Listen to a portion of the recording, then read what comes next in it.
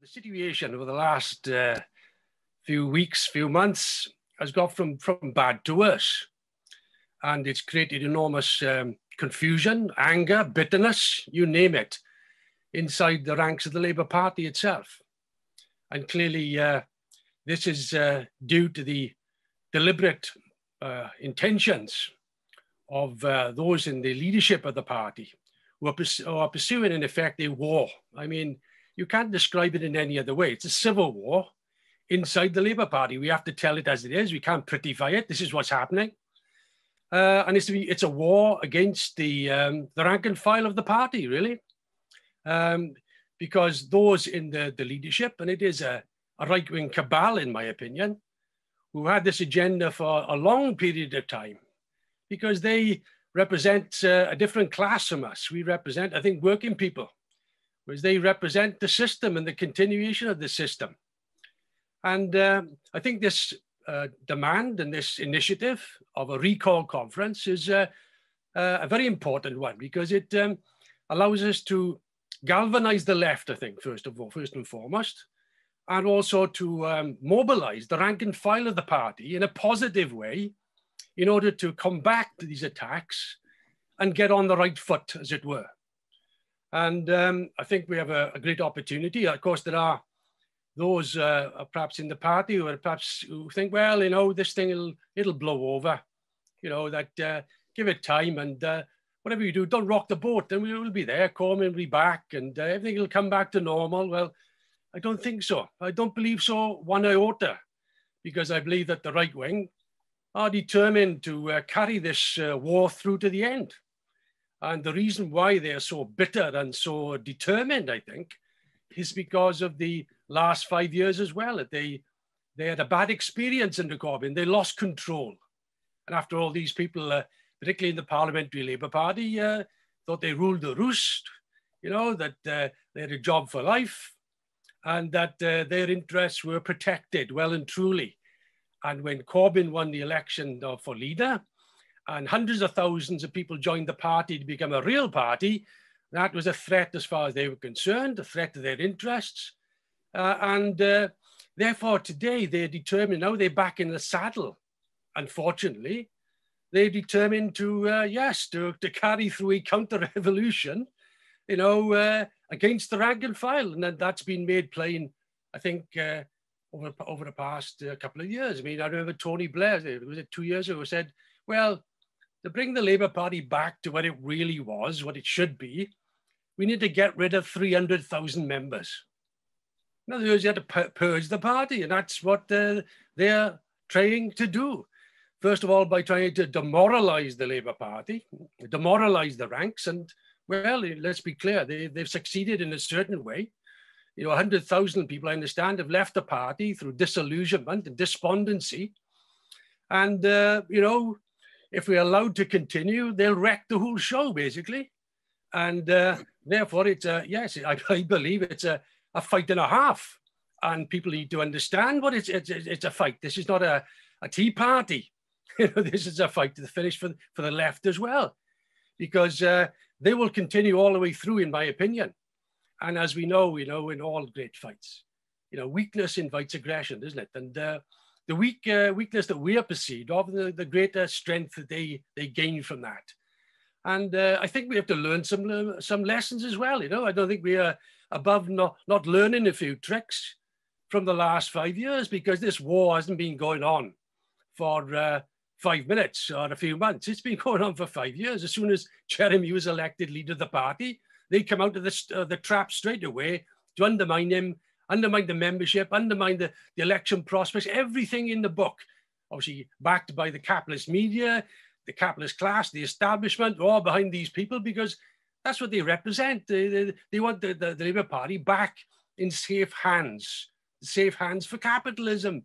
And the Labour Party is a very important weapon from that point of view, as far as they're concerned. And they certainly don't want the rank and file to get a get their, their mitts on it. So therefore, the, the, the, the, right wing uh, were conducting this guerrilla warfare. And what else could you say? It's, I mean, I couldn't, I mean, I know that perhaps I may get carried away with a few words here and there. Perhaps it's the Welshness in me, I don't know. But it's like a fifth column operating in the Labour Party. You know, they were destroying everything they possibly could, including electoral uh, responses. You saw that even in 2017, where my old friend was at Stephen Kinnock, when he was interviewed, that you could see when he was told that Labour was at ahead and, and gaining, he, he was a face of despondency. Why? Because they wanted it to lose the election in order to discredit Corbyn and drag him down. That's what happened in 2019, unfortunately. And uh, the rank and file have never had a say on it. And it's about time the rank and file did. I think, uh, you know, there's a, a meme going around about Corbyn saying the real strength of the party is the rank and file. I couldn't agree with him more. But we got to give, you know, power to the rank and file. And that means a conference. And we'll have a conference as far as I'm concerned, because that's the only way we can, you know, call these people to order and democracy must be in the rank and file. I mean, we have lost a trick or two. I mean, I'm in despair sometimes. I think, wow, you know, when the right wing gets gets in, they're pretty determined. You know, can't fault one that. Uh, well, the left had a chance, had a great opportunity, you know, for five years, and well, you know, the, the, the right wing was spitting in our faces, and we were kind of wiping it off. And they were stabbing us in the back, and we were because we wanted oh unity, unity. Well, I, I'm in favour of unity. But I'm not in favour of unity if people are stabbing me in the back.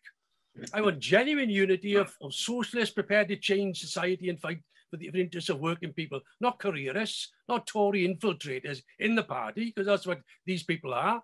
And that's what they represent. And therefore, we have to put power in the hands of the rank and file. It's a shame, by the way, isn't it? In 2019, 2018 rather, at the Labour Party conference, we've given the opportunity to have open selection. In other words, we can have control over our representatives. What a democratic right that was. And yet we were robbed of it, robbed of it. 90% of constituency parties were in favor of that, that, that initiative, which should, have been, which should have been a game chamber, changer. I would have brought real democracy into the ranks itself, but we were denied it. And that was a fateful, fateful move, really, because then it allowed them to get on there. You know, they, they felt secure. Of course, a few of them split away, but we knew what the agenda was and they were there as a Trojan horse within the Labour Party waiting. And we saw what happened, you know, 2019, oh, everything came showered down, you know, all the living dead were brought out on the television, the Lord so-and-so, Lord Straw, and all of them, Mandelson and the rest of them, shouting about how bad the election result was, the worst result since 1935. In fact, we gained more votes than in 2015, more votes than 2010, and more votes than 2005. But of course, they didn't care about that. They had one agenda, and that was to destroy Corbyn. And now what they done? They got rid of him, you know, out of the party. He's not a Labour MP, and now they're going for those who support him. And those parties were former danger, like in Liverpool, for instance. And that's why they attacked them, or Bristol, or in Sheffield, or elsewhere. So therefore, it's a real fight and a half, and we must be up for it. We can't just pussyfoot around now. And therefore, I hope that the left will, will galvanize itself will take note from what's happening because there's no let up. It's like a you know a blitzkrieg against the, the, the left in the party. And if we don't fight for, back now, then we'll really be in trouble. So this opportunity for the, the conference is spot on, spot on. We have to, and look, oh, some people say, where are we going to get? Look, full force at the point of attack. That's the military angle. In other words, you go for, you see something and you go for it. Hell for leather. And that's what requires this conference itself, mobilizing constituencies, mobilizing unions, galvanizing support for it, and focus it on getting that. If it isn't about, well, we'll use the energy, because we're not giving up. We're not giving up on this struggle. We'll use the energy and the strength we mobilize to carry on the struggle itself, because it is a living struggle, and we can win. We have the power. We have the majority, in effect. They have the machine. And therefore, we're going to take it. You know, it's like, you know, Shelley said, you know, arise like lions, lionesses, I should say, you know, in invanquishable numbers. Rise up. You got the power. Let us take it because democracy lies for the rank and file to decide the character, not this pro-capitalist austerity nonsense, but fighting for ordinary working people and the fighting for the ideas of socialism. Thank you.